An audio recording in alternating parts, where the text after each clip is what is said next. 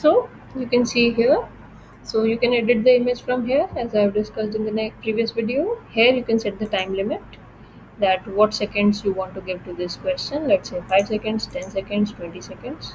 So you can set the time limits. Then you can set the points here that how many points you want to set for this question. Like let's say 0 1000 and 2000 so three options are there basically.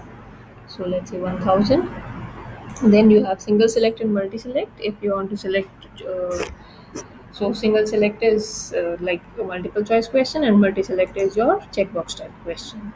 Okay? So this is how it will show and you can edit these options. Let's say this was my information.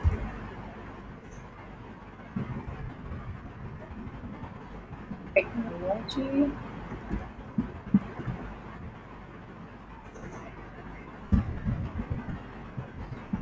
communication and all of the above.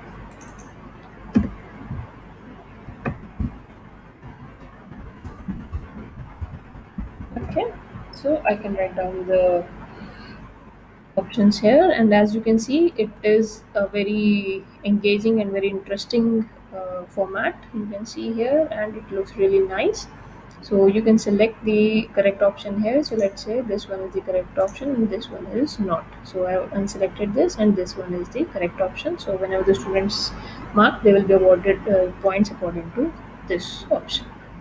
All right. So your first question is all set. Then you can add another question from clicking from here.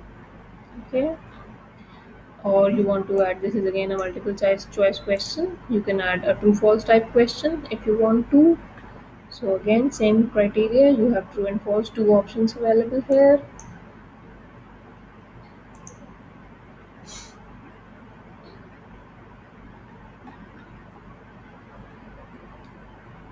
Okay so it is saying if you are you are going to give a long time limit for so, for some particular question say if it is a mathematical equation or any other type of equation or uh, any equation that requires some brainstorming then you would like to increase its time and you can see uh, you will see this uh, there is an inbuilt music available for the longer types of questions. All right so when the question will be it will take long time so automatically the music will start playing.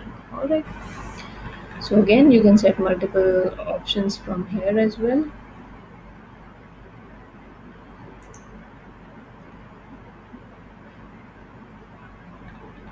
Okay so this is how you can create a number of questions. Okay you can click on add question and you can add up multiple questions.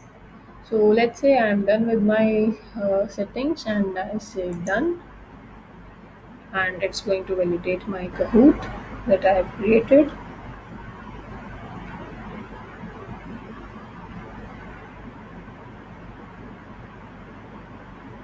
And here you can see see all I have created one my Kahoots in my section it is showing I have created one Kahoot so I'm going to see that Kahoot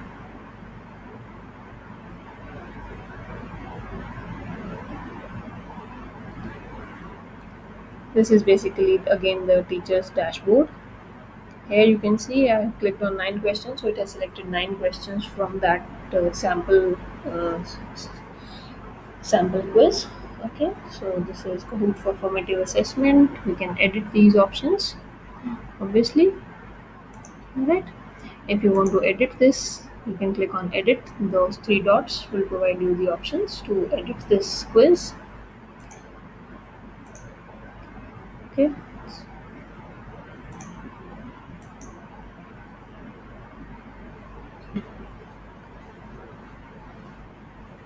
So here it is. You can edit the quiz if you want to enter the Kahoot title. Let's say I want to change this title. I'm not liking this title.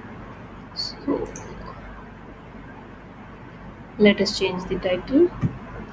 To my first quiz